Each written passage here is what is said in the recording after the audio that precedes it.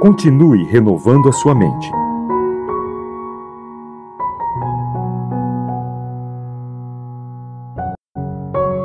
Como podemos renovar a nossa mente, ou seja, mudar nosso modo de pensar? Romanos 12, 2 diz: E parem de se amoldar a este mundo, mas sejam transformados, renovando a sua mente, a fim de comprovar por si mesmos a boa, aceitável e perfeita vontade de Deus. Você costuma limpar sua casa?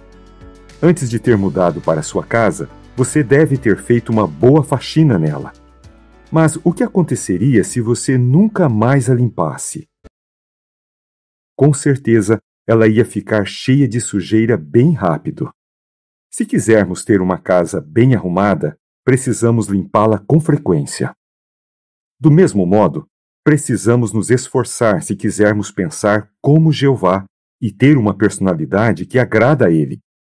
É verdade que antes de nos batizarmos, fizemos grandes mudanças na vida para nos purificar de toda a imundície da carne e do espírito. 2 Coríntios 7:1. Mas agora precisamos seguir o conselho de Paulo em Efésios 4:23.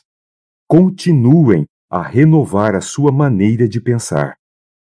Por que precisamos fazer isso?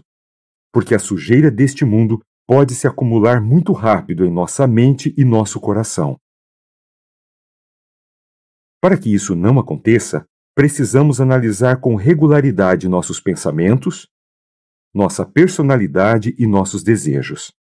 Só assim conseguiremos agradar a Jeová.